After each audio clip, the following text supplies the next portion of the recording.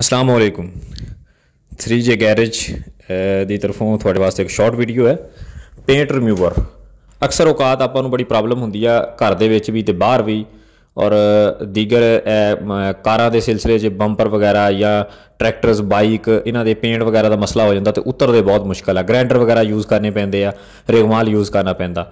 ਇਹ paint remover ਜਿਹੜਾ ਆ ਇਹ ਇਹ ਤੁਸੀਂ ਕਿਤੇੋਂ ਵੀ ਮਾਰਕੀਟ ਦੇ ਵਿੱਚੋਂ ਪੇਂਟ ਰਿਮੂਵਰ ਦੇ ਨਾਮ ਤੋਂ ਖਰੀਦ ਕੇ, ਇਸ ਤਰੀਕੇ ਉਹਨੂੰ ਉੱਪਰ ਲਗਾ ਕੇ ਤੇ ਰੈਪ ਕਰਕੇ ਉੱਪਰ। ਔਰ ਕੁਝ ਦੇਰ ਲਗਾ ਰਹਿਣ ਦੇਣਾ, ਜ਼ਿਆਦਾ ਤੋਂ ਜ਼ਿਆਦਾ 2 4 5 ਮਿੰਟ ਤੱਕ। ਉਸ ਤੋਂ ਬਾਅਦ ਤੁਸੀਂ ਹਟਾਓਗੇ ਆ ਦੇਖੋ, ਆਸਾਨੀ ਨਾਲ ਜਿਹੜਾ ਆ ਪੇਂਟ ਤੁਹਾਡਾ ਇਸ ਤਰੀਕੇ ਜਿਹੜੀ ਨੀਚੇ ਤੋਂ ਜਿਹੜੀ ਆ ਬਾਡੀ ਉਹ ਸਹੀ ਤਰ੍ਹਾਂ ਨਿਕਲ ਆਏਗੀ, ਉਸੇ ਤਰ੍ਹਾਂ ਹੀ, ਔਰ ਪੇਂਟ ਤੁਹਾਡਾ ਉੱਤੋਂ ਜਿਹੜਾ ਆ, ਉਹ ਮੂਵ ਹੋ ਜਾਏਗਾ। ਇਹ ਬੜਾ ਬਿਹਤਰੀਨ ਔਰ ਆਸਾਨ ਤਰੀਕਾ ਹੈ।